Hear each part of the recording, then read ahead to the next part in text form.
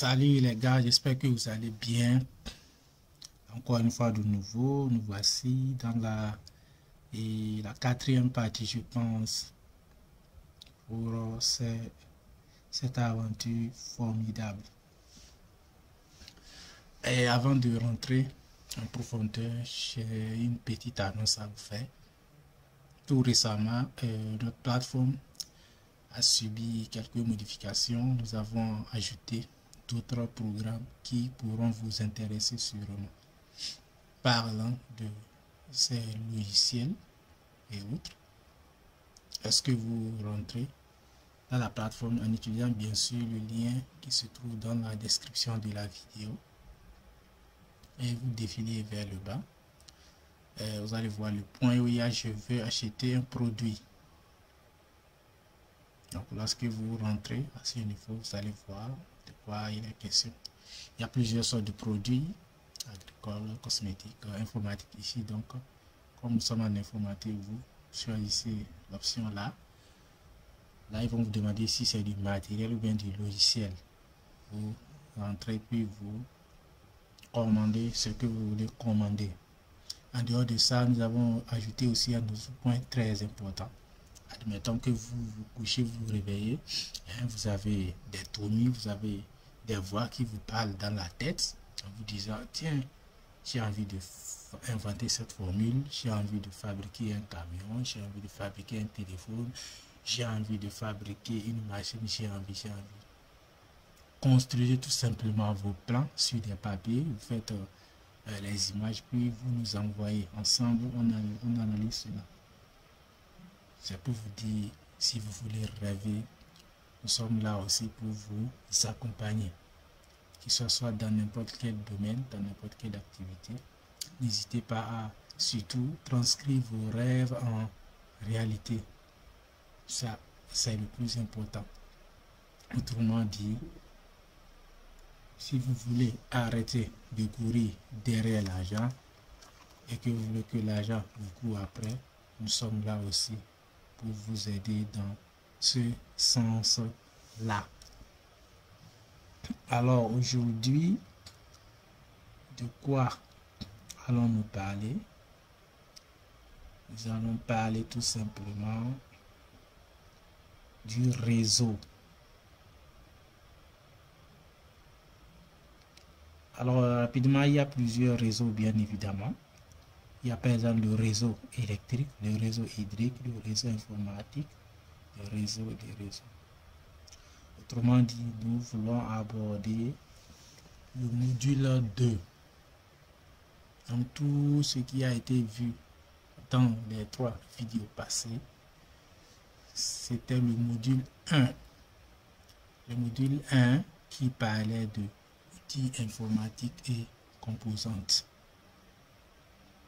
Et je pensais pour résumer tout ceci, pour résumer le module 1, d'accord, l'informatique d'abord, vous devez savoir que c'est une discipline, c'est une science de conception, de développement et de fabrication du système informatique, aussi bien d'un point de vue matériel que logiciel.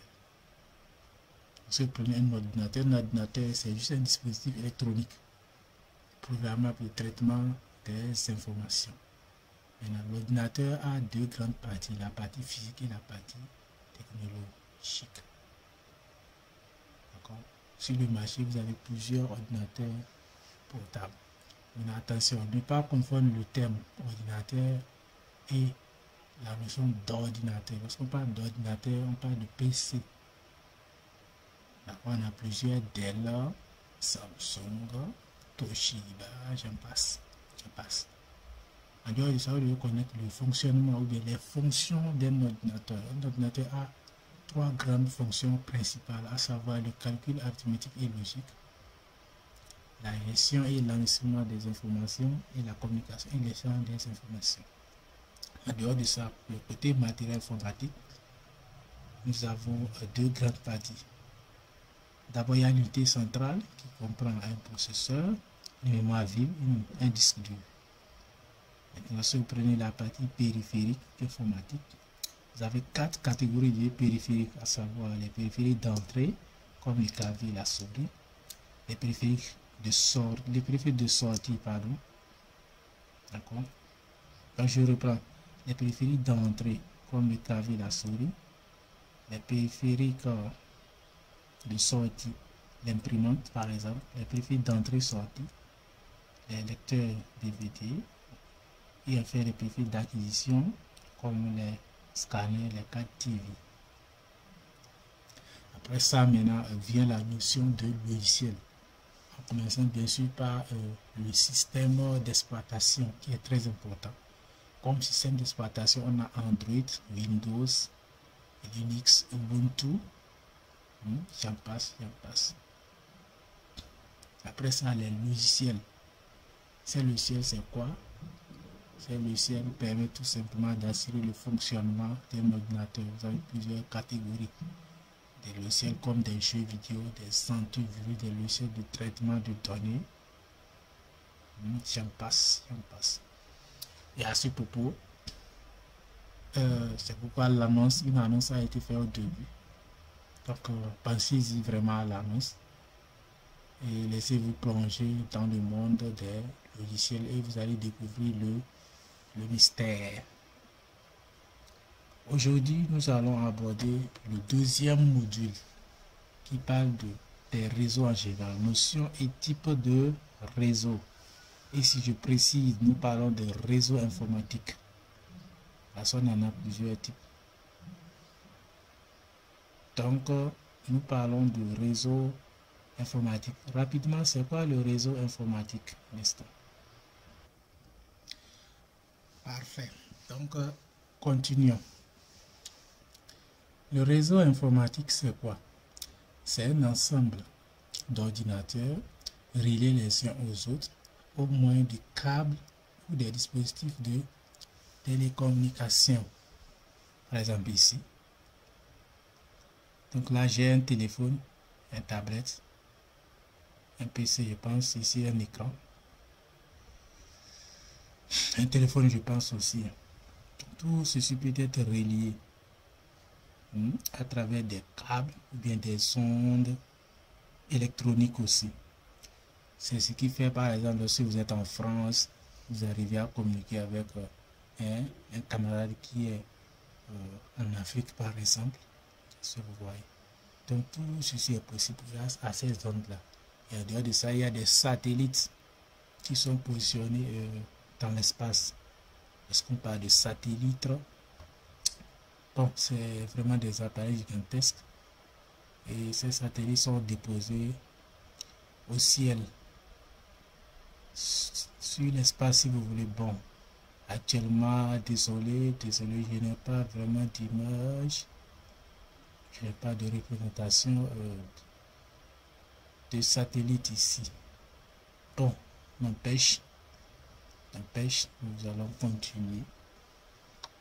Donc, tout est possible grâce à ce réseau.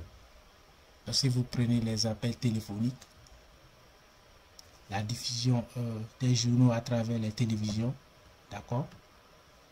En passant par la radio, les portables aussi. Donc tout ceci est relié. Sans ces ondes d'émission et de réception, il y a ce qu'on appelle émission et réception. Émission, c'est les appareils ou bien les satellites qui permettent d'émettre le signal. Parce que ce n'est pas quelque chose que vous pouvez voir. Et c'est là, cela devient intéressant, la science vous n'arrivez pas à voir tout ceci, mais la science a expliqué ça. Alors, lorsque parfois nous parlons de d'esprit, d'accord, c'est un peu euh, comme ça, vous devez imaginer ça. Donc, prenons par exemple un individu qui appelle, il est de la France, il appelle en Afrique. Parce qu'il va composer le numéro et lancer. Donc, il y a un satellite qui va émettre le signal et un autre satellite qui va euh, recevoir le signal en Afrique, ce qui va permettre à son camarade, si c'est son frère, de recevoir l'appel et ils vont échanger. Donc, il y a tout ceci, il y a plusieurs appareils, d'accord, plusieurs phénomènes hein, qui doivent être mis ensemble pour qu'on puisse avoir concrètement un appel. Au début, ce n'était pas facile. D'accord, lorsque nous retournons dans l'histoire, au début, la transmission des messages se faisait soit de voyage en voyage, soit de voix, par voix ou par oiseau.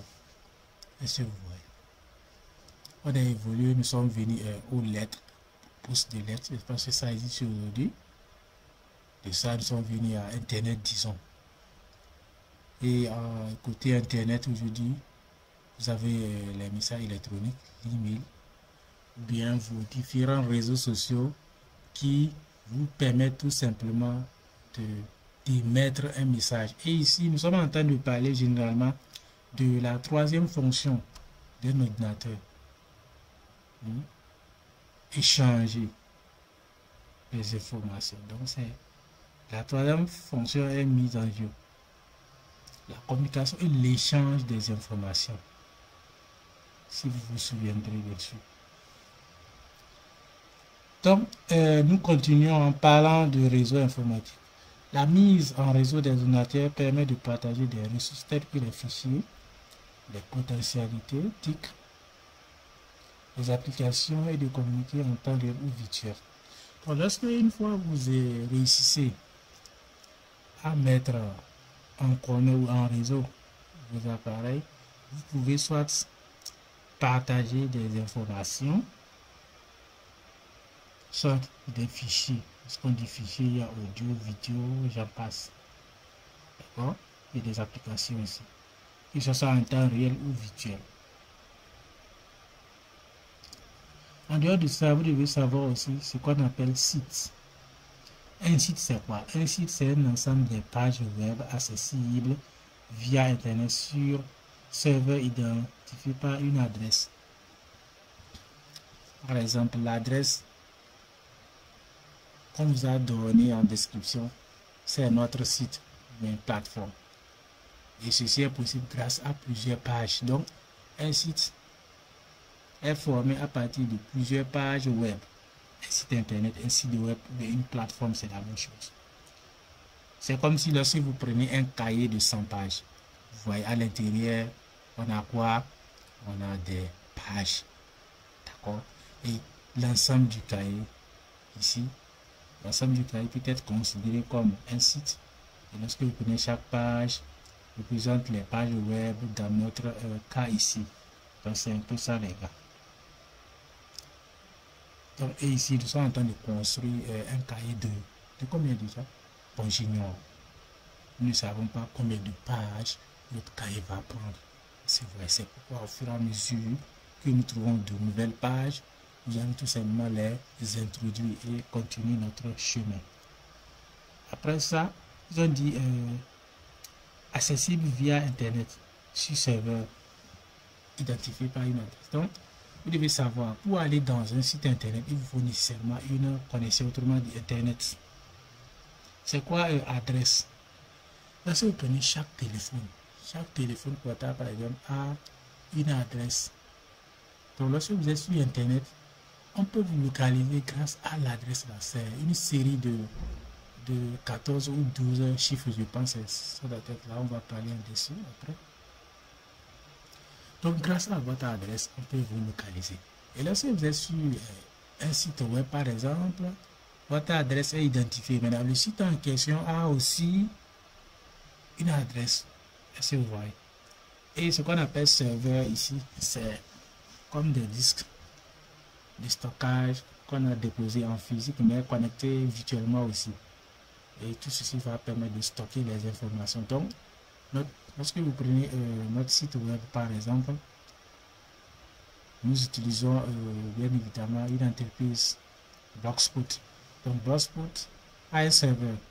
Donc, c'est au niveau de les serveurs sont stockés, nous, nos bases de données, ou bien disons notre site. Si vous voyez. Donc, eux, ils ont euh, serveur. Maintenant, serveur, le serveur, vous pouvez euh, fabriquer ou bricoler votre propre serveur, mais il faut des moyens, il faut aussi rassembler plusieurs appareils. Je profite en même temps pour vous dire, si vous êtes intéressé par cela, nous pouvons aussi en discuter en privé, bien sûr. Comment avoir son propre serveur à la maison? Si l'idée vous, vient par hasard, donc, euh, Nous sommes là aussi pour ça. En dehors de ça, euh, il faut aussi savoir ce que c'est que l'adresse électronique. Alors, l'adresse électronique, la désignation conventionnelle qui identifie un utilisateur du courrier électronique permet d'acheminer les messages qui lui sont destinés. Donc, l'adresse électronique, c'est comme un numéro mais virtuel, d'accord? C'est un numéro grâce auquel vous pouvez envoyer des messages et des fichiers. D'accord Donc, c'est très important d'avoir ça aussi. En dehors de ça, et le réseau local. Là, nous sommes en train de parler des types de réseaux. Hmm? Quels sont les types de réseaux que nous pouvons avoir? Il y a les réseaux où il y a le réseau local ou local area network. LAN. Vous voyez L-A-N. Hmm? C'est le réseau local area network. C'est un réseau câble dans les limites d'un bâtiment. Donc, ce réseau, vous pouvez euh, appeler un technicien, on va vous l'installer ça dans votre maison ou dans votre entreprise. D'accord? Je pense que la plupart des entreprises fonctionnent grâce à ce réseau euh, en côté Internet. Après ça, vous avez le réseau étendu Wide Area Network, le WAN, WAN, qui signifie un réseau dans lequel les distances qui séparent les sites sont importantes. Donc, ce sont des réseaux vraiment à distance C'est bien compris. Ce qui est différent euh, du réseau local. Donc, réseau local, donc le français local. Et ici, réseau quoi? Étendu. Donc, déjà, la différence peut s'observer au niveau de, chaque nom, je pense. Mais lorsque nous prenons Internet, Internet c'est quoi? Internet, on dit réseau des réseaux câblés sur le plan planétaire au point de vue physique. C'est l'ensemble des liens nœuds de communication entre serveurs qui permettent à l'ensemble des ordinateurs connectés à l'aide de serveurs de communiquer directement entre eux. Ça, c'est formidable. J'ai envie de voir la définition là. Et là, c'est pas de l'eau. Donc l'Internet, hmm, c'est des réseaux, ensemble de réseaux câblés, d'accord, sur le plan planétaire. Imaginez un instant, euh, on coupe l'Internet par exemple. Vous imaginez le chaos, la catastrophe que cela peut engendrer sur le plan économique notamment. Parce qu'actuellement, la plupart des grosses entreprises fonctionnent à réseau Internet.